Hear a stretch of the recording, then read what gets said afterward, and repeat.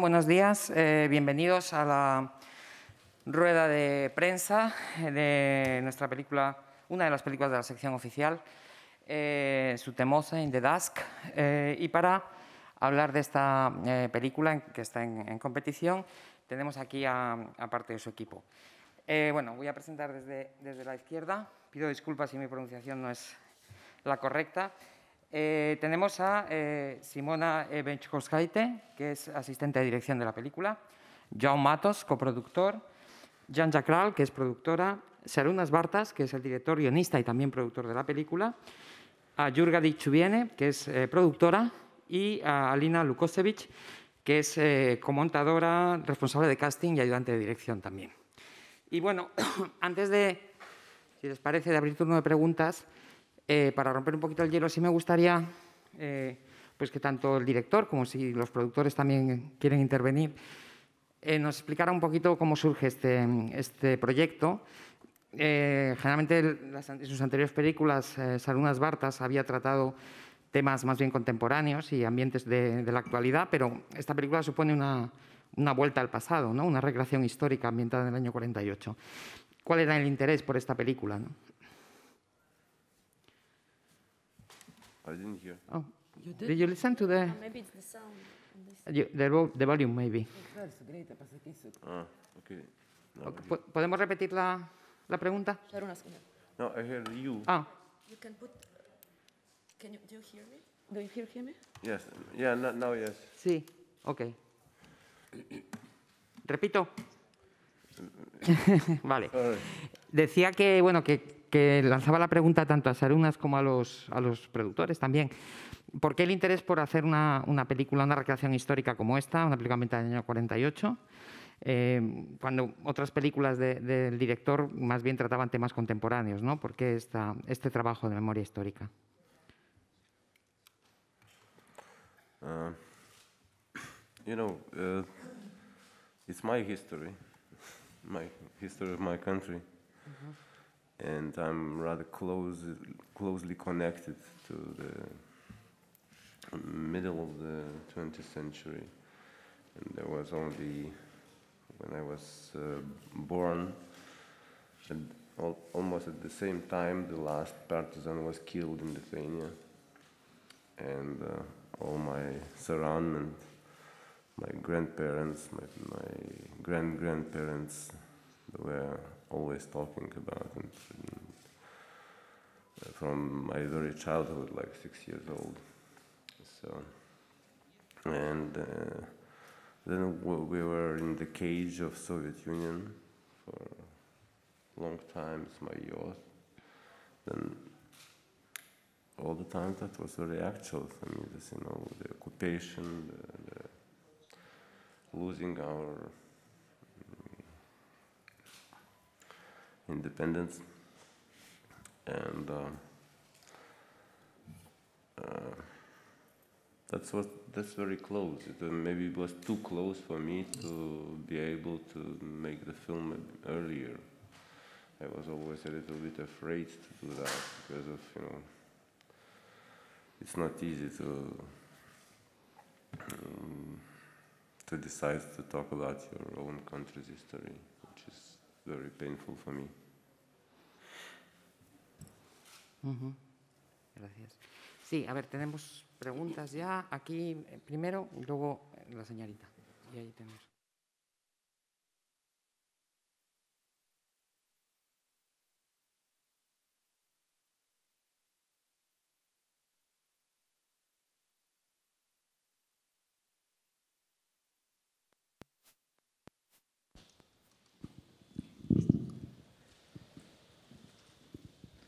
Ahora sí. Eh, buenas. Eh, quería preguntar al director, eh, bueno, primero de todo, felicidades a todos por la película, la acabo de ver y, me ha fascinado.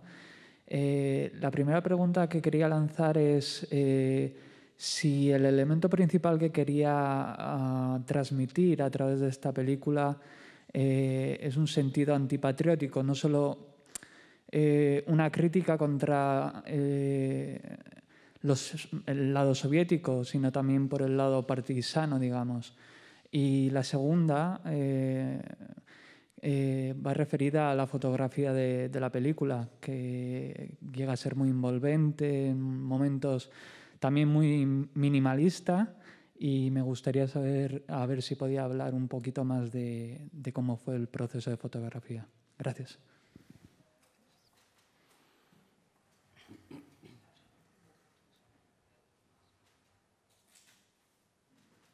If, without masking. okay, so um, there are two questions in one, I think, yes. Uh, so, anti-patriotic. Uh, I don't think that the fake patriotism is, gives anything better to understanding of your of your history, because uh, you have to acknowledge that there was a war, the Second World War and Lithuania was occupied uh, many times by, by, first by Germans, then by Russians, then by Germans again, and so on. It was like a field of battle, and people were exhausted. They, they, they also they went to the uh, to the tortures, tortures of, of, of NKVD. I mean, the newcomers who were trying to to to clear everything, you know, the, the territory out. There was no food. I mean, it was the lack of food and whatever. So it's a very strict situation in which you know you people are people, and I never wanted to show like kind of uh, pseudo patriotic film. And it's, uh, uh, it's not for me. Second question about photography, I didn't catch exactly what you was asking for. Uh, photography is photography, it's a part of the film. So, minimalistic, yeah. I, I never liked, you know, to put uh, many effects on where it's not necessary. I mean, you have to for me, the first, uh, there are few um, requirements for photography. First, you have to, to catch the, the middle of the frame, I mean, not to look around and not look what happens with a moving camera or whatever, or upside down camera, and to see the people, because people are, or the landscapes are the most important. You have to be involved in that, and so, and it's on one hand it's simple and minimalistic, on the second hand you have to feel it. And sometimes it's not so easy. Is that okay? Muy bien, teníamos aquí otra eh, pregunta. Hi, uh, I would like to ask to whomever want to to answer uh, about the hardships of shooting in such difficult weather conditions? Because I imagine there, there must be some particularly difficult stuff about adapting to the snow and the cold and all that kind of thing. It's not easy at all. At all. Um, no, you, you told that someone can, else can answer, can few, pass from to, to yeah, you. Claro, por supuesto. It was a long, long uh, stretch of years we didn't have uh, snow. And so this particular year when we decided to shoot the film, it, it started snowing from the first day of the winter till the last day of the winter. We had snow. So we had to wait this period. We didn't shoot during the winter outside. Uh, no, we, we were shooting. We were shooting, but not not in that deepest snow that we have. Also, we lost how many cars? Like four? Yes, we had the, well the freezing. We no, have freezing cold, but we had ice on the road, so we had uh, 13 uh, car crashes during the shooting. But, but the, all ended well. But I mean, it was minor. But anyway, it was quite uh, describing the situation what had to go through. No, no injuries except three cars absolutely totally damaged. Smashed. Smashed. but not big injuries, thanks to God, and 13, uh, 14 accidents because it's very slippery and uh, when it's it for 10 years there was no snow. You know, I mean, I mean in the winter was melting uh, again, a bit snowing, melting, and this year was very particular. Every time, all the time, the snow, the ice and of course the cleaning people uh, they, they, they cannot cannot make it in time sometimes. So it was difficult. Of, course, to stay in a, in a, we had big buckets with a, with a fire, you know, in, the, in the near near shooting camp to heat and, and tried to heat as as we could.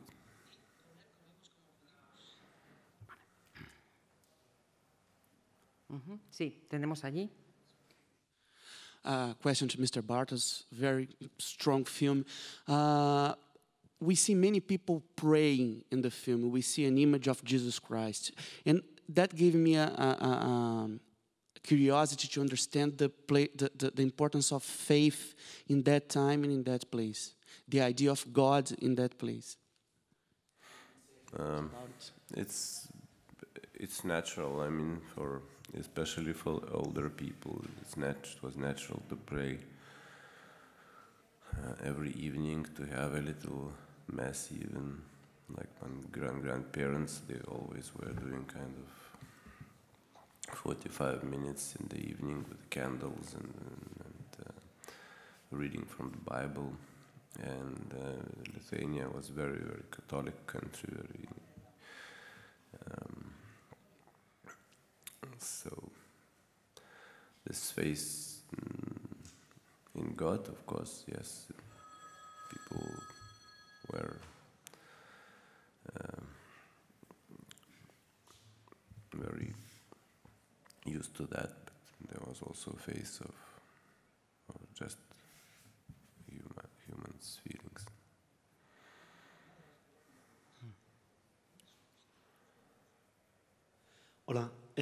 buenos días. Quería preguntarle al, al director, la historia se podría haber narrado desde perspectivas diferentes. ¿Por qué decides centrarla en, el, en un joven adolescente de 19 años? ¿Qué, qué te aporta esto a la, a la película?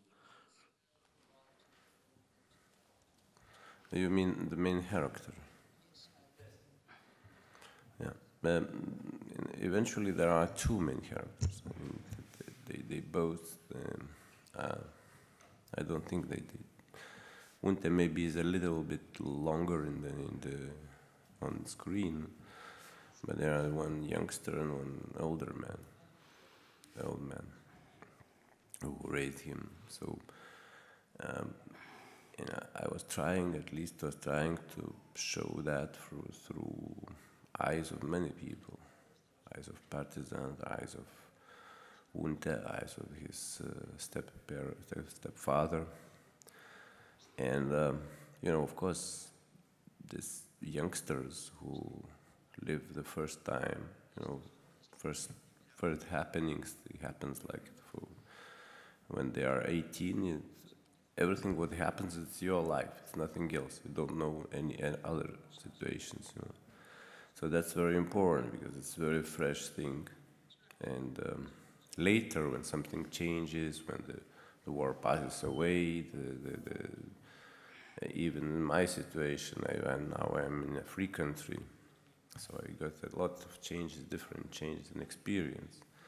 So I now I know that it might be like that or like that or like that many many um, different and um, but 18 young years young uh, guy he doesn't know anything else. He just uh, just started to live. That's for me important. But as what I told you that the, his stepfather's uh, actions and, and, and thoughts are also important for me. Ujú, Sí, tenemos. Sí, yo en realidad quería preguntarle también por esa perspectiva de, del adolescente, como ha dicho antes, que eh, de pequeño le contaban muchas historias eh, sobre eso y que lo tiene muy presente, hasta qué punto se, se, nutre o se identifica él con ese punto de vista y hasta qué punto ha utilizado esas historias o alguna historia de las que le han contado, si nos puede contar.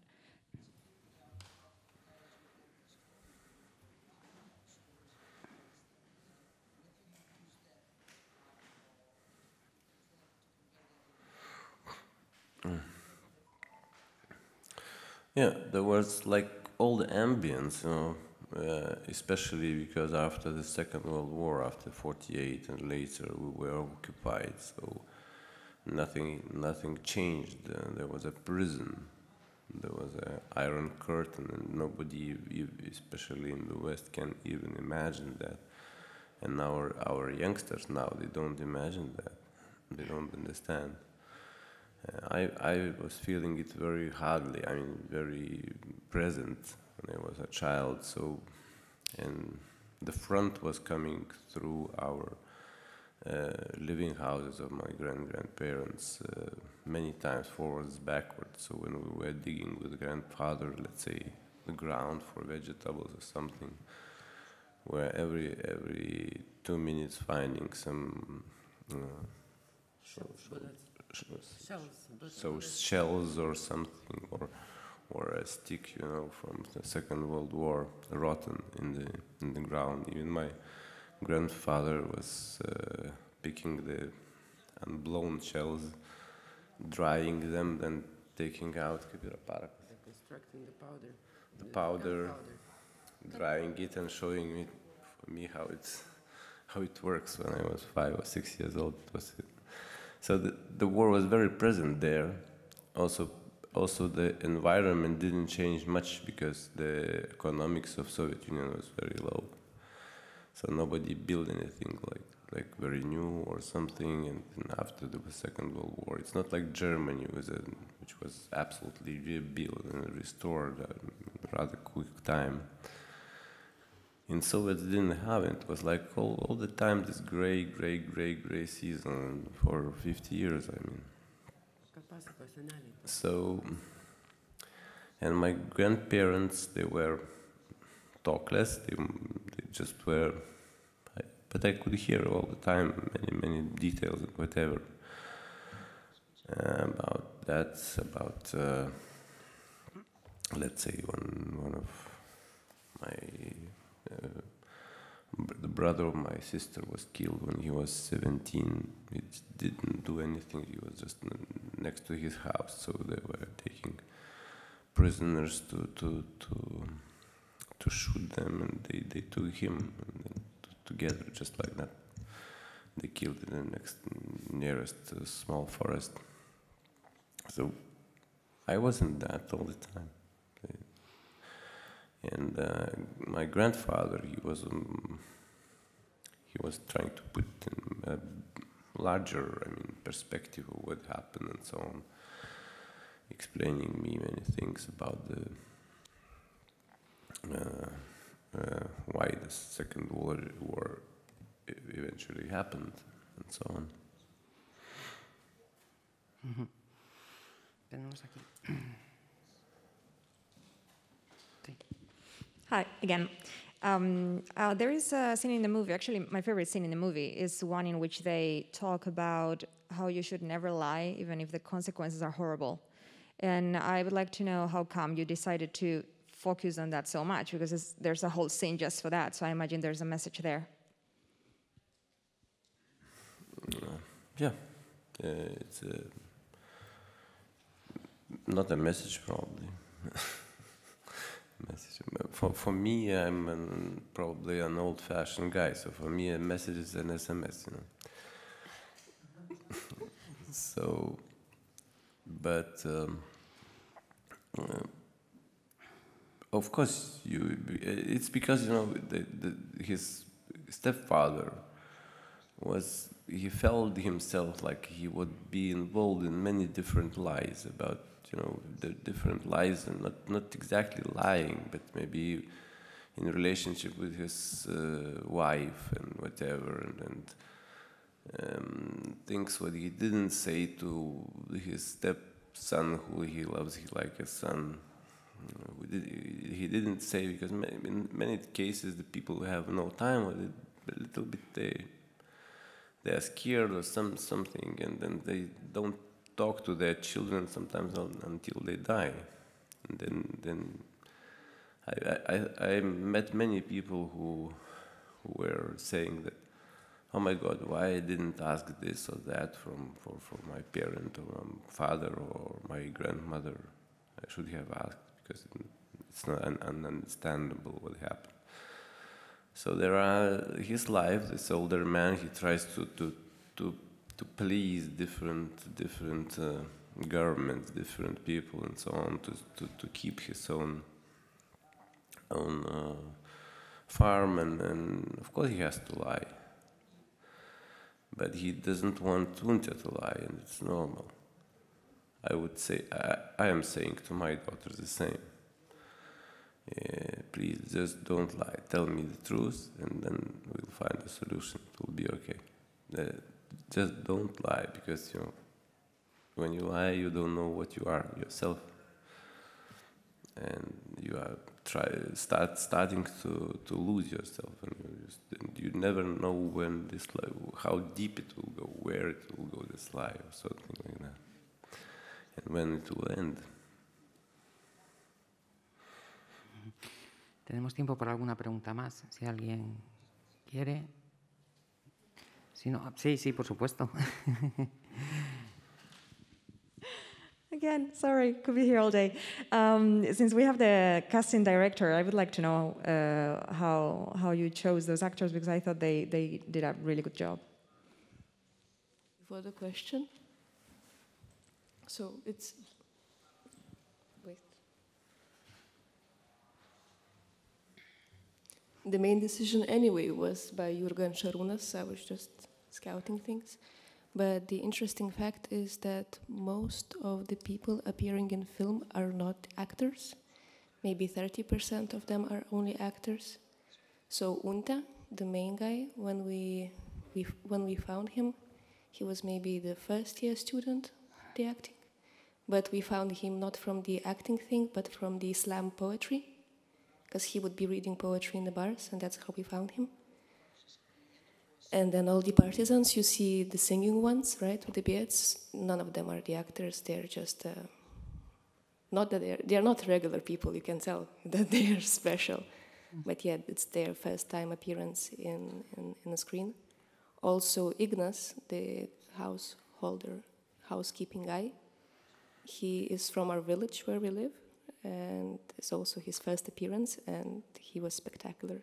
Like you couldn't tell he's not an actor, very organic.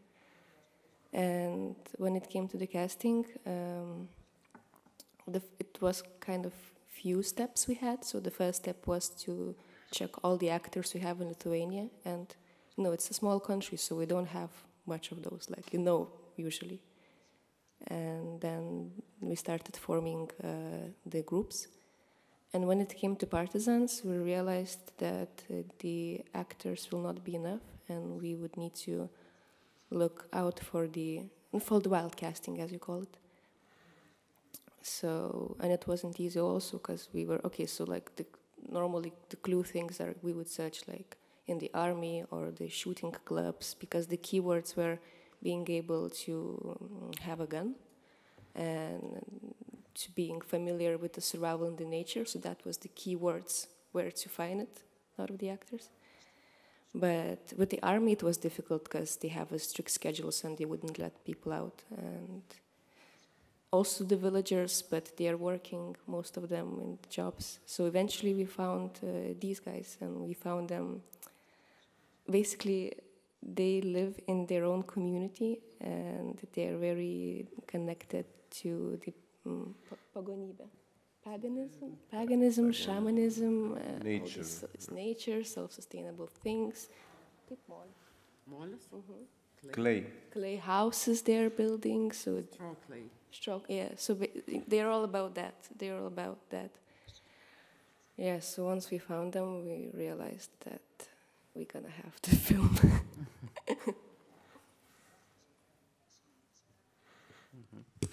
Muy bien. Eh, no sé si hay alguna pregunta más. A mí ya para terminar eh, esta, esta rueda de prensa, eh, me gustaría plantear una pregunta, bueno, a, toda la mesa en realidad, a los productores especialmente, en el sentido de que, bueno, como os he dicho aquí antes, el relato que esta película muestra de la resistencia contra, contra la Unión Soviética no es el habitual relato heroico ¿no? que muchas veces vemos en este tipo de películas, que, que de la lucha contra el invasor, etcétera. Creo que es un, un relato muy ambiguo, eh, donde hay además mucha oscuridad, hay traiciones, hay ajustes de cuentas, hay mentiras.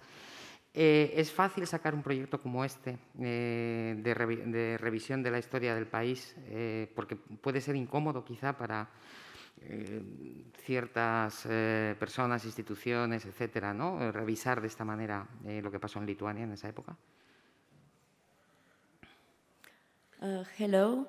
Actually, it wasn't so difficult to gather all the people on the film because even though it's talking about the particular history of Lithuania, in a way, the story itself and the question of resistance and the committing to be part of it or not, and all the complexities that you raised as question, made a certain echo in, uh, in the countries of co-production. So, like in most of the author films nowadays, we needed to unify the forces together. So we are like six countries that participated in the financing of this film, and we financed the film in one year and a half. So actually, in a way, it went quite fast for nowadays cinema, the financing. It found a very positive uh, reception in the fans of all six countries. Ajá. And uh, um, I don't remember any film which all, everyone would be pleased by. so someone was not pleased at all. Desde luego. Bien, not, pues- not, not institutions. they are too polite. Just add up how it went in Lithuania after the premiere, because we have a national premiere. So it was mm-hmm. quite divided. Mm-hmm. One people were like expecting to see it very heroic and clean partisans with clean uniforms, and they were so angry that our partisans are tired. But I'm really proud of Sarunas that he actually depicted it without any glance. And the other part of the people we were saying, yes, finally someone stopped pretending that there is a good guys and bad guys and that people are people. Yeah, about these heroines, I, I, I would ask just anyone who would imagine that, that it's 48, it's already three years uh, when they are in the forest, um, all the time, all the time, only being able, let's say, to get food from, from people around. And uh, only that supplies can help them. And, and, and living in the night time, almost not showing up in the daytime. So three years, can you imagine that? I think for many people, one year, one week, it would be a, a enormous uh, uh, event, event, you know. And three years with, a, with every every minute waiting to be to be uh, surrounded and and destroyed. So it would be abnormal that they would be in a different case, and it, was not. And it was, uh, of course, uh, clear from many documents and, and, and their memories where, they were writing in, in their small notebooks, which we could can read on today. So. Muy bien. Pues bueno, entonces solo nos queda agradecer muchísimo a- al equipo que haya venido aquí a presentar la película, que esté con nosotros en San Sebastián, que podamos verla en pantalla y con ellos aquí presentes, y pues desearles muchísima suerte con la trayectoria de la película. Muchísimas gracias por haber Uh, thank you very much for thank you very much for for coming, for asking, and thanks very much for producers and our crew. Uh, so